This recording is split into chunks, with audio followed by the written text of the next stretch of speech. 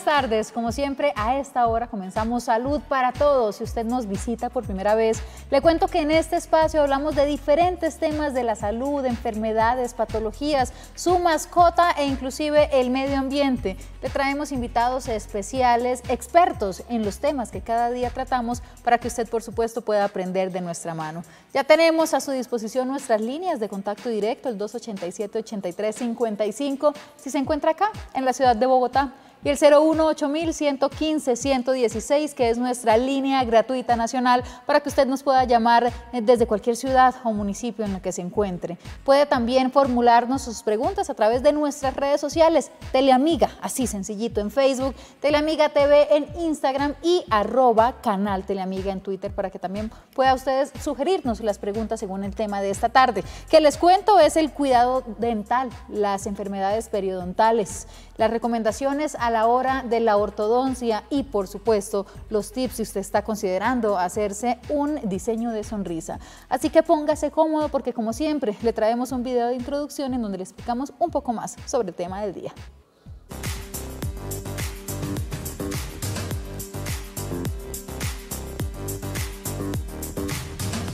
Una de cada cuatro personas teme visitar al dentista, según datos del Sistema de Salud Pública británico. El miedo al dentista es un hecho más común de lo que parece.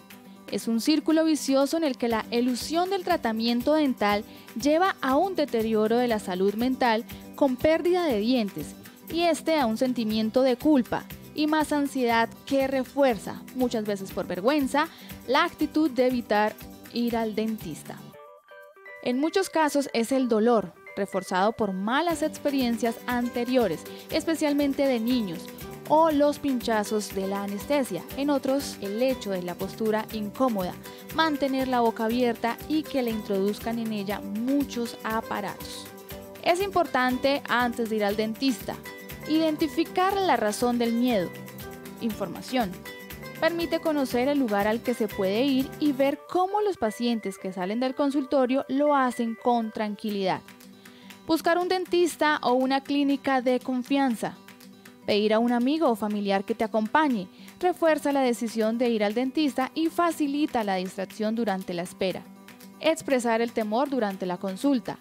Es bueno distraerse leyendo, escuchando música, haciendo crucigramas, entre otras actividades que mantengan la mente en uso. Hablar con el dentista. Es importante hablar con el odontólogo, pues es el más interesado en que los pacientes superen el miedo. Él sabe cómo tranquilizarlos. Es normal que el miedo al dentista perdure después de la primera consulta, especialmente si se tiene en cuenta el plan de tratamiento, curetaje, extracciones, ortodoncia, etc., que exigirá sucesivas visitas, atendiendo a un orden de prioridades. Es importante pensar en el beneficio que se va a obtener del tratamiento. Una buena salud bucodental, menos problemas a medio y largo plazo, incluso menos visitas al dentista, salvo las señaladas para revisiones y limpieza dental.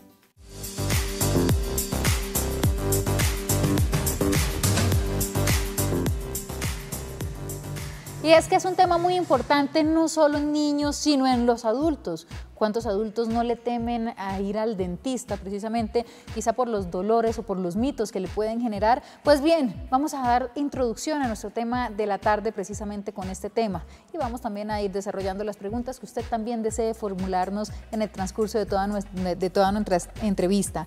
El doctor Luis Enrique Rodríguez, odontólogo, es quien nos acompañará el día de hoy para que usted lo tenga presente. Más adelante le vamos a decir sus redes sociales para que también comience a seguirnos. Vamos rápidamente a una pausa y ya volvemos con más de Salud para Todo. Gracias por continuar conectados con Salud para Todos. Si usted está canaleando Quédese ahí, quietico, deje ese control, no lo siga oprimiendo, porque cuidado dental, el miedo al odontólogo y algunas enfermedades eh, que se generan comúnmente en nuestra dentadura es el tema de esta tarde. Qué bueno que puede usted hacernos las preguntas que desee. Ya llegó a nuestro set el doctor Luis Enrique para comenzar a charlar sobre este tema, de quien le vamos a compartir su perfil para que usted conozca su número y más de su experiencia.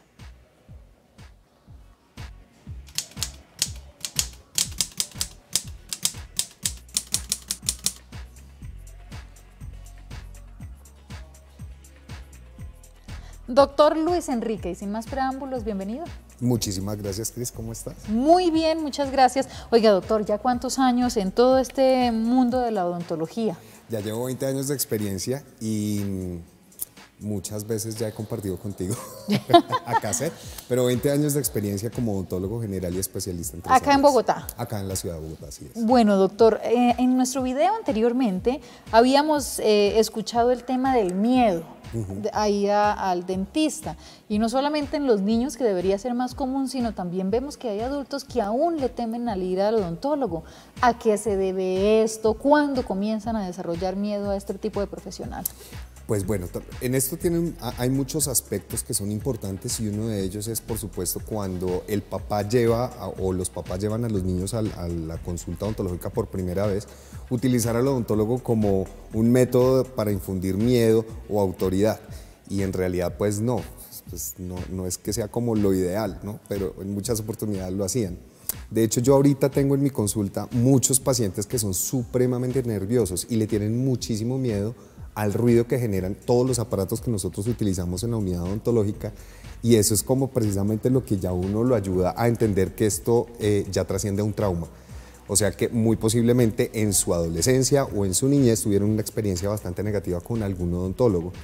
Esto es algo que eh, pues puede suceder en cualquiera de los ámbitos, ¿no? no solamente en el de los padres como lo mencioné ahorita, sino también por parte del profesional. Entonces yo pienso que la odontología también ha evolucionado mucho y ha ayudado a que nosotros como profesionales también podamos eh, estar pues como muy eh, expectantes de qué tipo de reacciones tiene el paciente para poderlas manejar y que no se salgan de control. Pero ¿cómo así? O sea, nos decía que eh, el odontólogo para infundir miedo, es decir, los papás le dicen al niño, o se porta bien o lo llevo al odontólogo. Más o menos, más o menos. Ah, hace muchos años, hace muchos años pasaba eso, pues por lo menos incluso cuando yo estudiaba en el pregrado, muchos de los, de los asistentes a la, a la clínica de pediatría le decían como, bueno, se porta juicioso o si no lo chuzan. Entonces, pues claro, el niño asocia inmediatamente esto a dolor y esta es una secuela que es muy difícil de manejar en la psiquis de un paciente adulto o incluso un adolescente. Yo tengo pacientes que son de 40, 45 años, 50 años y se sientan en la unidad y me piden cualquier tipo de ayudas como para mantener las manos ocupadas porque el nivel de ansiedad es muy grande. Entonces, al tener un nivel de ansiedad también grande, no ayudan a que nosotros podamos trabajar de una forma mucho más cómoda. ¿Qué consecuencias pueden empezar a existir una vez la persona comienza a temer al ir al odontólogo? Pues primero que todo puede haber también, eh, como hay un temor, ¿sí? también obviamente eso repercute en su higiene. Digamos que pues, puede ser positivo o negativo. Positivo en el sentido de que se cepillen en digamos, con un extra límite, ¿sí? Entonces pueden ocasionarse enfermedades periodontales por tal vez eh, hacerse daño con un cepillo que no es el adecuado, cepillarse muy rápido, cepillarse con mucha fuerza para evitar ir al odontólogo. O sea, entre más limpio me mantenga, menos tengo que ir. Entonces ese es un factor. Y el otro factor, pues obviamente que ya dejen, digamos, la consulta a un lado y que su dieta intervenga en el desarrollo de ciertas enfermedades, no solamente a nivel dental, sino a nivel periodontal, a nivel óseo y a nivel, pues, de mucosas y de piel adyacente a las mucosas eh, orales. Y finalmente, además que los equipos que ustedes utilizan sí hacen ruido, porque es cierto, pero no generan dolor.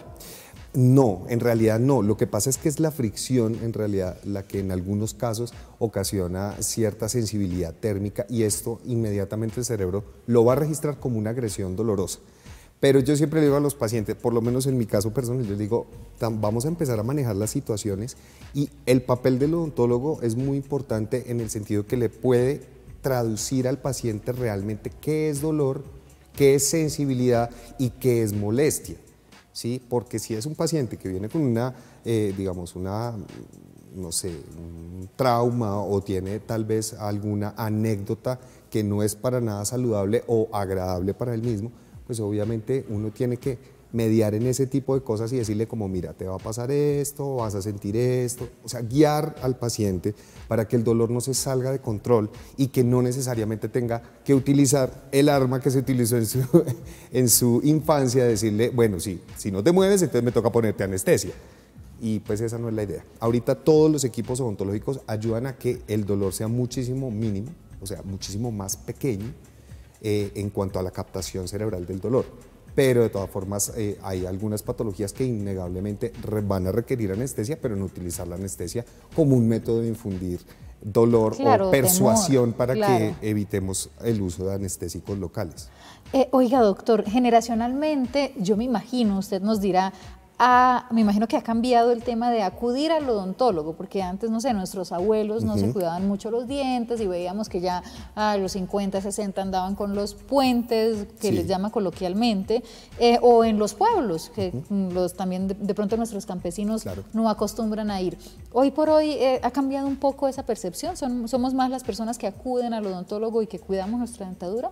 Pues en realidad la cultura del autocuidado ha sido, ha, evolucionado muchísimo a través de las, de las últimas tres décadas, digámoslo así, porque ya ahorita todas las personas que van a consulta, por lo menos lo hablo a título personal, eh, tienen una incidencia mucho más baja de caries y de desarrollo de enfermedades periodontales precisamente por eso porque nos hemos vuelto los profesionales mucho más multidisciplinarios, nos estamos eh, actualizando con, con, muchísima frecuencia y entonces hay muchas patologías que de pronto antes no se consideraban muy normales o habituales y por supuesto pues esto ocasionaba que todos los pacientes y pues incluso los, sus, ciclos, sus círculos familiares y sociales se acostumbraran a que utilizar la exodoncia, o sea, sacar dientes, porque sí, era algo completamente normal. Ahora pues ya obviamente la, la, situación ha cambiado y la tecnología ha avanzado tanto que podemos tener ayudas no solamente de instrucción en higiene oral, sino también en el manejo del profesional y el manejo de nuestra propia profesión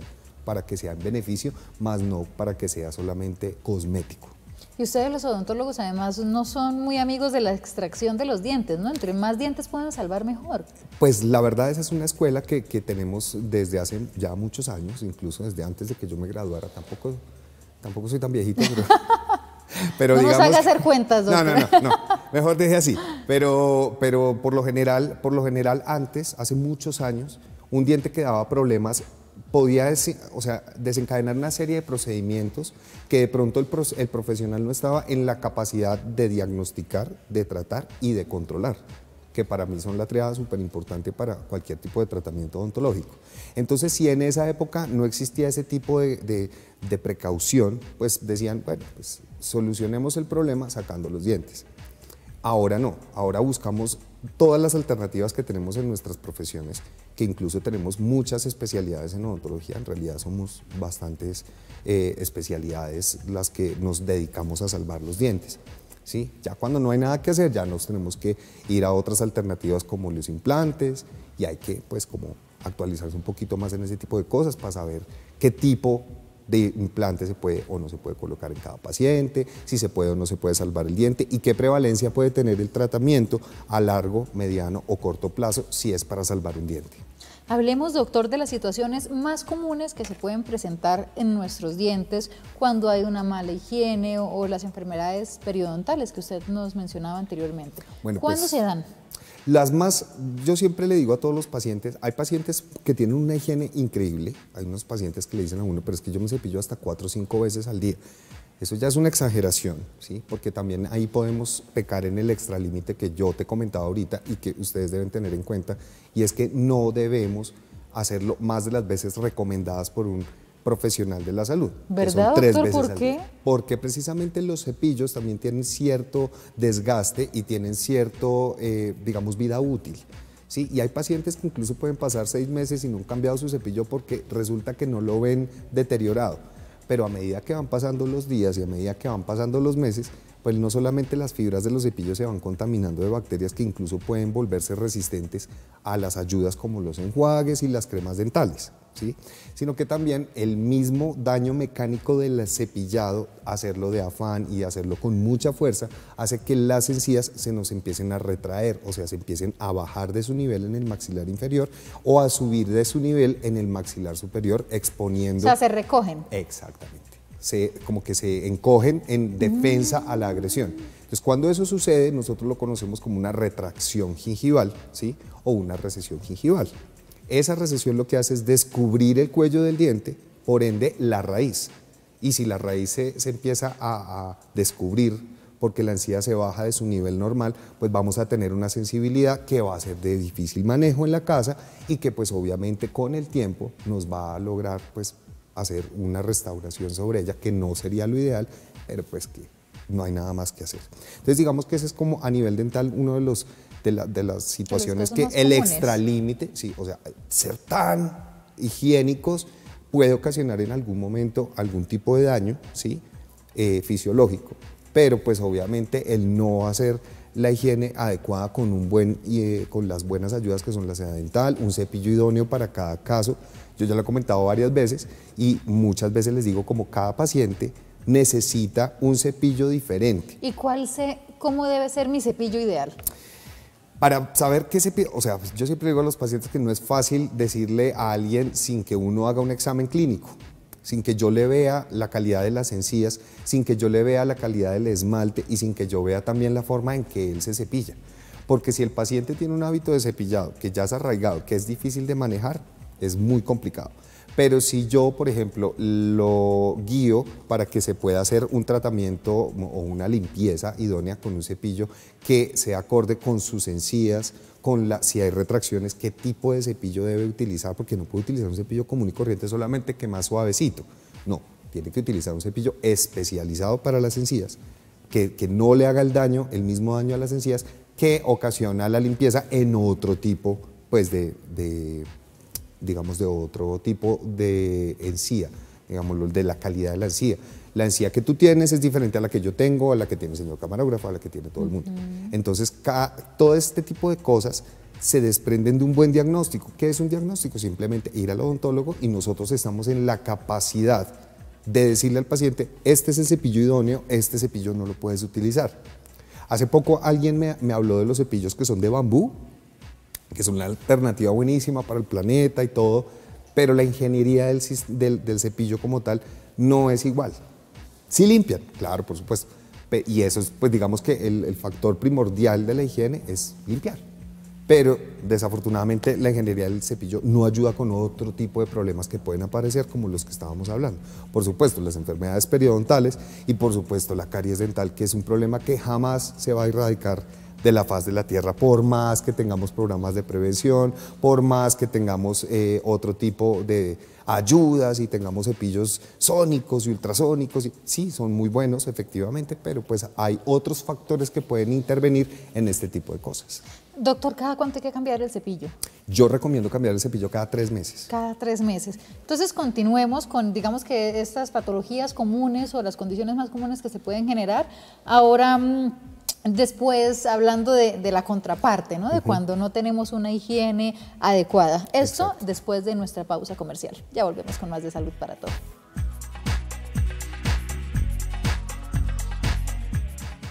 Ya estamos de nuevo en Salud para Todo hablando del cuidado dental. Y doctor Luis Enrique, entonces en nuestro segmento anterior ya charlamos de los excesos en términos de higiene y qué pueden generar. Ahora hablemos de la contrariedad. ¿Qué pasa cuando yo no me cuido bien mi higiene oral, no me cepillo con juicio, independientemente de la edad que tenga, ¿no? Porque eso da cualquier... Bueno, ya cuando tenemos nuestros dientes fijos, por supuesto. bueno, primero que todo, hay un tema que es muy importante y que en muchos casos no se toca a profundidad. Uno, pues obviamente ya sabemos que la caries es una enfermedad, no es un bichito, no es, no, es una enfermedad que contrae una serie o que contiene una serie de síntomas y signos. ¿sí? Entonces, pues obviamente muchos pacientes creen que porque no hay dolor, todo está bajo control. Hay caries que pueden durar meses o incluso años dormidas la falta de higiene una higiene adecuada pues va a ocasionar que esa, esa mm, bacteria que está ahí como resguardándose de la O sea, la bacteria está ahí. Está, ahí. Sí. todas las bocas tienen bacterias. ¿sí? Toda nuestra, nuestra saliva, la lengua, las mucosas, los carrillos que son las mejillas por dentro, todas, todos los seres humanos tenemos bacterias ahí. Lo que pasa es que en muchas oportunidades ellas se asocian entre ellas y forman colonias. Esas colonias lo que hacen es nutrirse de los carbohidratos, de las azúcares, de todos los alimentos que se empiezan a descomponer por, precisamente por los fluidos de la saliva y de las encías y hacen, pues forman la caries, que en unas oportunidades llegan a ciertos puntos de los dientes, se incrustan allí y dejan como la huellita para quedarse ahí en, algún momento y activarse bajo una baja de defensas. ¿sí?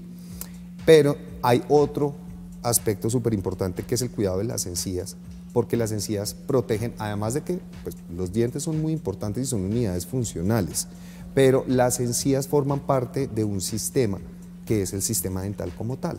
El diente tiene mm, su corona, su raíz, pero están salvaguardados por un ligamento periodontal, que también es un tejido proveniente de la encía, por así decirlo. Y el hueso, que es el que pues obviamente va a sostener el diente dentro la mandíbula o el maxilar superior para ayudarnos a masticar, a fonar, bueno, etcétera, etcétera, etcétera.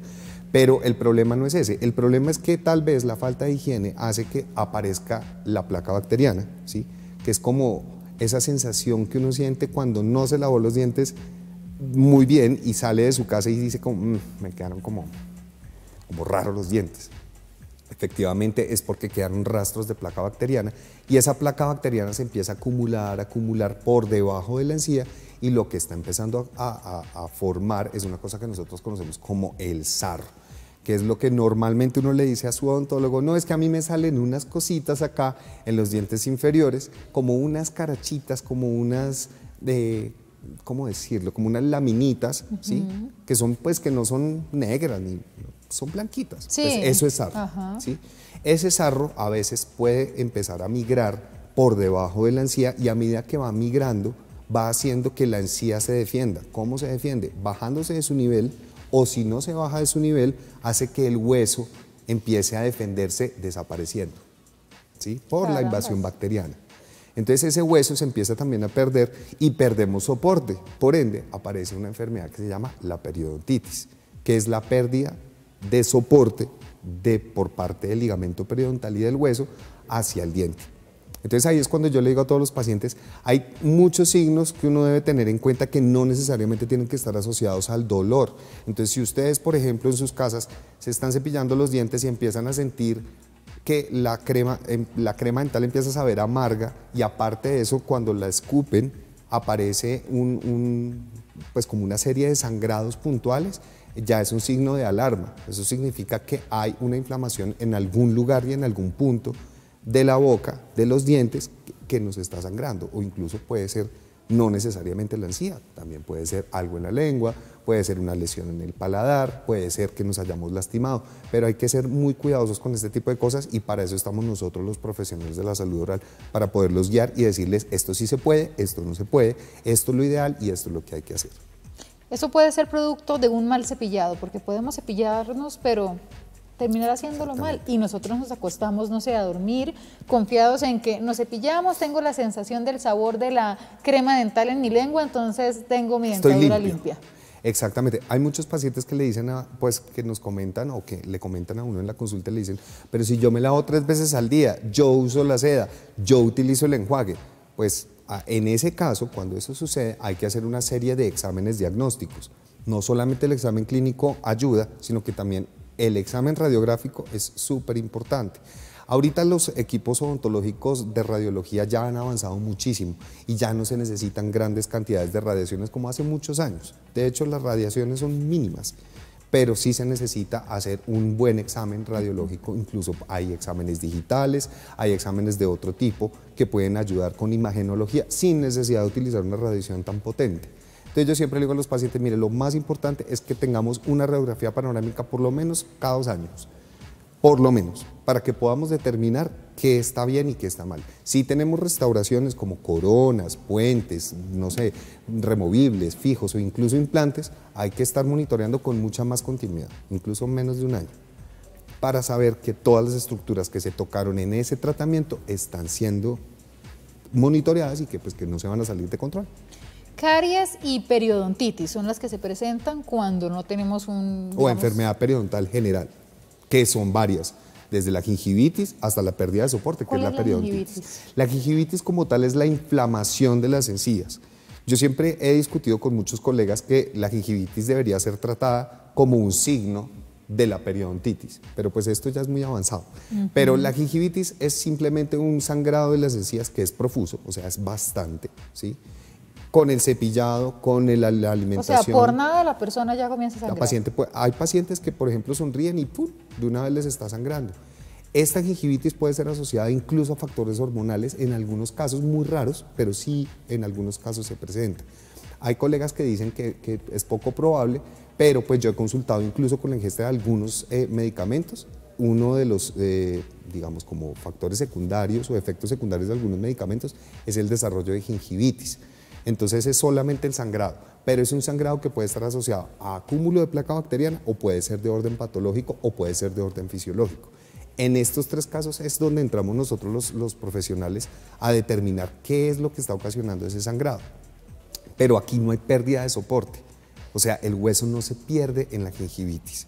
La gingivitis es un sangrado muy profuso que se puede empezar a disminuir, digamos, con el manejo de una serie de enjuagues especiales o de medicamentos incluso a nivel sistémico. Pueden ser antibióticos o pueden ser antimicóticos, incluso en algunos casos. Estas enfermedades, digamos, son las más comunes que la población presenta, ¿cierto? Sí, así es. ¿Y pueden hacer eh, que puedan perder sus dientes? Por supuesto, la pérdida del soporte, como lo decía con la enfermedad periodontal, como la periodontitis, esta tiene una serie de clasificaciones, ya es algo mucho más técnico que, pues, para que ustedes también lo entiendan, es simplemente la pérdida del hueso por parte del, del, del cuerpo en respuesta a la agresión de la aparición de una bacteria, ¿sí? que es la del sarro. Ese sarro empieza a bajar por debajo de la encía y empieza a despegar la encía del diente hasta que llega al hueso y empieza a crearse como una guerra entre el hueso y, las, y las bacterias. Entonces lo que estamos haciendo es que las bacterias hagan que el mismo hueso empiece a retroceder y a decir, yo acá no voy a ganar, mejor cedo todas mis, mis defensas. Entonces el hueso empieza a disminuir, a bajar de su nivel normal, hasta que llega un punto en el que el diente ya empieza a moverse, creando una cosa que nosotros conocemos como las bolsas periodontales. Esas bolsas periodontales ya se forman cuando no hay una adhesión del ligamento periodontal hacia la raíz, haciendo que ésta se vuelva mucho más vulnerable a que cuando estemos alimentándonos, la comida se acumule en esas bolsas y uno no las vea el cepillo dental sigue limpiando y normal los dientes por encima se van a ver limpios, pero por debajo de la encía no sabemos cuál es la profundidad a la que está llegando la cantidad de alimento que realmente nos está ocasionando un daño sin saberlo. Porque no siempre se desarrolla un sangrado que es digamos, como el factor de alarma, sino que ya cuando el paciente se da cuenta, el diente se le está moviendo. Entonces ahí es cuando yo ya les digo a los pacientes, mira, aquí ya hay que recurrir a otro especialista, que es el periodoncista, que es la persona que se encarga de mantener no solamente el sistema periodontal y el sistema dental periodontal en un buen estado, sino que también se, está, está diseñado, digámoslo así, para que él esté muy consciente del control de ese estado periodontal que ya estuvo afectado. Es más controlar la enfermedad a eliminarla, porque el hueso que se pierde desafortunadamente no se recupera, salvo en algunos casos cuando se hacen algún tipo de injertos o algún tipo de ayudas de... Y para allá iba, ¿hay tratamientos, curas o formas de que el diente uno no lo pueda perder? Sí, hay, hay bastantes, sí, pues no muchísimas, pero sí hay una gran variedad de, de, tratamientos. Están desde el injerto de hueso autólogo, que es del mismo hueso del paciente, o incluso también eh, bovinos o sintéticos. Hay muchas variedades de injertos que sí pueden pues obviamente salvaguardar. Sin embargo, si la enfermedad periodontal es desarrollada por algún tipo de estímulo mecánico, como por ejemplo, o nocivo, un estímulo nocivo que, como por ejemplo la ingesta eh, exagerada pues, de, cítricos, la, ingesta exagerada pues como de, carbohidratos, o incluso los pacientes que fuman en exceso, pacientes que mastican tabaco, o sea, hay muchos otros estímulos que hacen que pues obviamente si yo soluciono el problema de la enfermedad periodontal o lo detengo por lo menos, no vamos a recuperar el hueso, pero por lo menos detengo el daño. Pero si yo llego a la casa, me hacen una cirugía en donde me limpian toda la raíz, me alivian el hueso de todas las bacterias y llego a la casa, me tomo un tinto y me fumo un cigarrillo, pues hasta ahí nos llegó todo. Entonces hay que también tener en cuenta que hay hábitos que pueden también desarrollar enfermedades periodontales y como te decía, todo esto va dentro de el esquema y el protocolo que uno tiene con su paciente de empezar a hablar y preguntarle qué hábitos tiene, qué tipo de dieta tiene. No es por averiguar qué es lo que ustedes comen o no, sino es más por saber qué tipo de hábitos pueden presentarse y en cualquier momento pueden volverse patológicos. ¿Qué hábitos debemos dejar, doctor, para poder garantizar que vamos a durar con nuestros dientes de pronto hasta una edad considerable? Bueno, definitivamente en cuanto a hábitos, pues obviamente nunca, nunca dejar el cepillado. O sea, eso sí es súper imprescindible. Las tres veces son súper ultra necesarias. El uso de la seda dental es también algo, hay personas que no la usan y dicen, no, es que a mí no se acumula nada. Eso no lo sabemos, ¿sí? porque no sabemos las profundidades de cada diente en, en su límite entre el diente y la encía. Pero yo siempre les digo como la seda dental es súper importante, no solamente cuando comamos carnita, no solamente cuando comamos de pronto algún vegetal que se nos pueda enredar entre diente y diente, porque desafortunadamente el, espacio que hay entre diente y diente es tan pequeño que ni la lengua ni las, ni las mucosas van a ayudar a que se limpien, ni siquiera la saliva. Entonces lo más importante es que podamos utilizar la seda dental y un buen cepillo dependiendo de cada quien. Ese es un hábito súper importante que no podemos perder. Algún momento escuché un mito de un odontólogo que me vio em, y me dice, Cris, elimíname por favor el uso de los enjuagues bucales porque esto aumenta la generación de las bacterias. O, bueno, no recuerdo muy bien. ¿Nos podría un poco aclarar ese Digamos que yo lo he escuchado ya varias veces, muchas de hecho. Últimamente muchos pacientes me han dicho como, oye, mira, es que yo estuve en una consulta en tal parte y me dijeron esto, esto y esto. Yo la verdad no tengo ninguna base científica en este momento en la que yo le pueda decir a un paciente, deje de usarlo pues tengo todas las bases científicas para decirle, úselo. Lo que pasa es que los enjuagues, hay varios tipos de enjuagues. Hay unos que vienen con alcohol, hay unos que vienen sin alcohol, hay unos que son medicados, hay unos antimicóticos, hay muchas variedades, hay marcas, sabores, olores y colores. Claro. Entonces, ahí es donde nosotros somos los que tenemos que decirle al paciente, este lo usa, este no lo usa. Yo personalmente, que soy pues obviamente, mm, yo no soy embajador, ni tengo eh, comisión con ninguna marca, pero, pero yo le digo a todos los pacientes, mira, en tu caso no puedes utilizar alcohol, en tu caso sí, en tu caso utiliza uno medicado por tantos días, pero hay pacientes que sí realmente pueden seguir la batuta de otro profesional que les dice que no utilicen un enjuague bucal y la verdad es que pueden ocasionar un daño porque no, no ¿En qué caso no se pueden usar con alcohol? Eh, eso sí ya depende, porque por ejemplo con alcohol si ya hay una enfermedad periodontal avanzada, si ya todo esto forma parte del diagnóstico como yo te comentaba. Por eso es necesario ir al especialista. Es necesario ir, es necesario ir porque es que necesitamos hacer un estudio.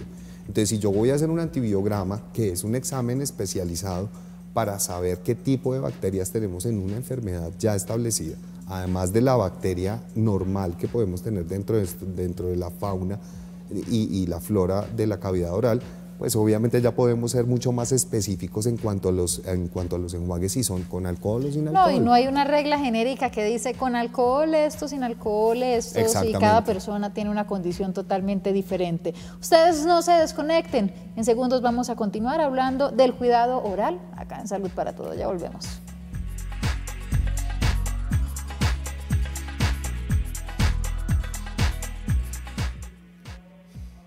Cuidado dental, de la mano del doctor Luis Enrique Rodríguez. Oiga, doctor, ¿dónde tiene su consultorio? El consultorio queda por, cerca de la clínica del Country, por Antiguo Country. ¿En la qué con qué? Eso es como la 79 con 18. Esto queda cerca al Centro Comercial Los Héroes y entre el Centro Comercial Los Héroes y el Centro Comercial Andino. ¿Y ahí atiende en qué horarios? No tengo un horario fijo, fijo, fijo, pero casi siempre estoy en las tardes, ¿sí? En las mañanas eh, ah, no atiendo cosas odontológicas, pero en las tardes sí estoy de lleno con mi consulta. Mis horarios, pues obviamente pueden ser consultados al teléfono que, que pues vieron hace un momento en, en el video, o también pueden escribirme a las redes sociales. Ese 310 que estaba viendo ahí. Ese 310 es mi celular personal, pero también está con desvío de llamadas directas a mi secretaria, así que ah, bueno, también pueden, si yo no contesto, contesta a mi secretaria. ¿Qué servicios presta ya, doctor? Bueno, yo presto los servicios de mis tres especialidades, que son endodoncia, microcirugía endodóntica, y que otro día hablaremos de eso, que es tratamientos de conductos y también odontología estética.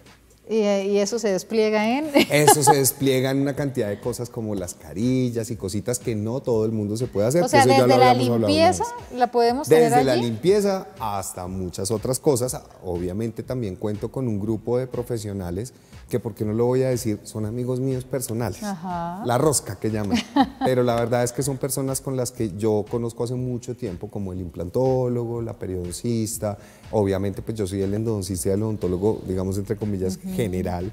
Eh, y así tengo varias personas que pues obviamente van a hacer la pues la consulta también dinámica con otros pacientes que requieren otros procedimientos, porque no hay nada más harto que uno vaya al odontólogo y lo estén mandando de un lado al otro, de un lado al otro, de un lado al otro, porque ya nos vamos a empezar a cansar y ese es otro de los factores que uno también se cansa del odontólogo. Entonces uno dice, ay no, pero es que uno vaya y entonces lo mandan a otro lado y entonces lo ve otro doctor y otra doctora y entonces, claro, por supuesto, los criterios empiezan a variar y esa no es la idea. La idea es que yo también siempre esté presente para que los pacientes también estén tranquilos y cómodos de que yo les puedo también quitar el miedo. Además que el paciente, además que el paciente, doctor, siempre va a querer que el mismo profesional lo acompañe porque es quien ve su evolución, por así decirlo. Entonces, sabe que doña María llegó y, tenía tal cosa. Sí, entonces casi pierde dos dientes, pero se lo salvamos y le hicimos el puente. Y ahora mire cómo sonríe de oreja a oreja y eso es maravilloso. ¿Cada cuánto hay que hacerse la limpieza general, doctor? ¿Cómo es que se llama técnicamente? Eh, la fase higiénica o profilaxis. Ah, la profilaxis. Que todo el mundo conoce como profilaxis, que también ha avanzado mucho con muchos equipos, que ahora ya no es ese reguero de crema por todo lado. No, no, no, Ahora ya la cosa es a otro precio y ahora ya pues podemos quitar incluso manchas para que todo nos quede mucho más bonito, mucho más agradable sin necesidad de recurrir inmediatamente al blanqueamiento. Pero lo más importante es el tiempo, como lo preguntas tú y nos, comentas. Cada cuatro meses es lo que yo le recomiendo a todo el mundo, estar bien juicioso cada cuatro meses yendo. Cada tres meses por si algo ya ha aparecido, digamos, se han hecho rehabilitación o se han hecho de pronto diseños de sonrisa o se han hecho otros procedimientos que de pronto requieran un seguimiento mucho más... Eh, mucho más cualitativo, o sea, que sea mucho más enfático en ese tipo de restauraciones.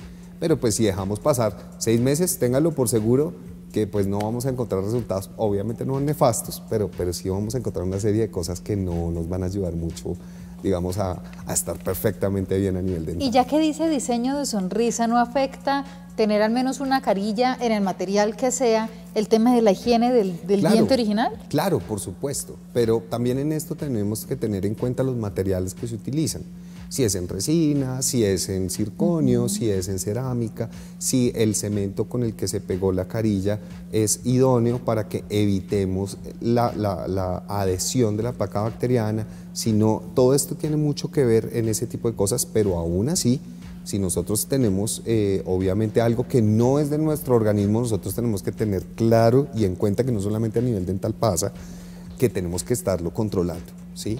Entonces, por ejemplo, eh, yo siempre le digo a todo el mundo, si usted se va a poner una uña postiza, pues obviamente usted no puede esperar que eso le dure toda la vida, sino que hay que estar mirando que esté pegada, que esté todo en orden y eso lo puede hacer la persona pues idónea en ese tipo de cosas. Entonces, a nivel dental es exactamente la misma situación. Si yo tengo una carilla en resina, en circonio o en lo que sea, tengo que ir cada tres meses a donde mi odontólogo que me revise y me limpie mucho más profundamente de lo que yo pueda hacerlo. Lo ideal es que la higiene no tenga por qué afectar, digamos, eh, eh, el protocolo que ustedes tengan de higiene oral. No se puede ver afectado por este tipo de dispositivos. ¿Por qué? Porque esos dispositivos tienen que estar diseñados para quedar completamente adheridos al diente y evitar precisamente el acúmulo de placa bacteriana. Entonces, hay que estar mucho más pendientes en los controles y básicamente eso. Pero pues el hecho de tener algo que ya no es de nuestro organismo ya va a crear obviamente un estímulo para que eh, este tipo de cosas. Pues, este, la pues, higiene, así como eh, la recomienda, doctor, por ejemplo, cepillado tres veces al día y demás, aplica tanto, por ejemplo, los niños que están mudando sus dientes, como en nuestros adultos mayores quienes ya han tenido pérdida de sus dientes y de pronto cuentan con otros eh, sistemas para poder lucir sus dientes o demás. Incluso, incluso en los, sí, no, es, es básico, es que esto es desde que aparece el primer diente en boca, desde que erupciona en el, en el niño el primer diente en boca hasta cuando tengamos el último diente en boca, tenemos que limpiarnos tres veces al día. Haya dientes o no haya dientes. Haya dientes o no haya dientes. Porque incluso las prótesis, cuando hay una prótesis total, en el caso de los adultos mayores que tienen prótesis total que son eh, mucosoportadas, se puede incluso acumular comida encima de la prótesis o por debajo de la prótesis entre el tejido blando y el acrílico. Y eso es lo que está ocasionando un olor, un, o, sea, un problema de higiene bastante desagradable que se traduce en halitosis, en la aparición de una serie de hongos como la candidiasis en boca y este tipo de cosas que tienen que obviamente tratarse. El acrílico, desafortunadamente, por más que sea el último acrílico que haya salido, siempre va a acumular bacterias, pero si mantenemos una buena higiene del aparato, del dispositivo, que en eso, pues ya tendríamos que hablar en otro programa sobre ese tipo de mantenimientos, pues obviamente el paciente tiene que ser consciente que tiene que ir al odontólogo y decirle, doctor, límpiame la prótesis, ¿sí? Y el doctor o la higienista están en capacidad profesional para poder hacerlo. Además que es importante tener presente que así como usted lo dice, no solo en adultos mayores, sino en nuestros niños desde bebés también. ¿Pueden ellos exponerse a bacterias? Siempre. Incluso los niños pues son mucho más propensos. Por porque los tejidos son mucho más blanditos. El simple hecho de tener, no, no solamente la lactancia, porque la, digamos la leche materna tiene muchos, muchísimos anticuerpos, entonces le está proporcionando al niño unas barreras impresionantes, pero ese no es el problema, la leche no es el problema, el problema es la bacteria que está en el objeto que el niño se metió a la boca, ¿sí? por curiosidad. Entonces, si no controlamos ese tipo de cosas, pues el niño obviamente va a estar siempre en contaminación cruzada y por más que el niño se cepille lo que sea, siempre va a haber una prevalencia de bacterias que pueden dispararse con una baja de defensas. Por ejemplo, una gripa. Se te bajaron las defensas, inmediatamente todas las defensas van a actuar sobre el tejido que esté afectado, que sea pulmonar, laríngeo o el que sea. Pero las defensas bajas hacen que también la encía produzca menos líquido crevicular, que es el líquido que protege a las encías entre el diente y la encía, y, pues obviamente si esto baja, las bacterias van a aprovechar y van a decir, acá fue. Es decir, en definitiva, lavarse los dientes, usar hilo dental y su enjuague bucal. En muchos casos sí, Habrán otros en los que no, pero eso solamente se puede terminar con una consulta profesional. E ir al odontólogo. Doctor, se nos acabó el tiempo. Recuérdenos tus redes sociales, por favor. Bueno, mis redes sociales, tanto en Facebook como en Instagram, me encuentran como arroba Rodríguez P y ya. Muchas gracias, doctor, por habernos acompañado. No, con muchísimo gusto, yo siempre encantado de venir a verlos a ustedes. Y a ustedes también por cumplir esta cita. Recuerde que estamos de lunes a viernes de 2 a 3 de la tarde para traerle toda la información relacionada con la salud. Si usted tiene algún tema de su interés, puede sugerirnoslo a través de nuestras redes sociales, Teleamiga en Facebook, Teleamiga TV en Instagram y canal Teleamiga en Twitter. Nos vemos mañana con un nuevo profesional y con un nuevo tema. Chao, chao.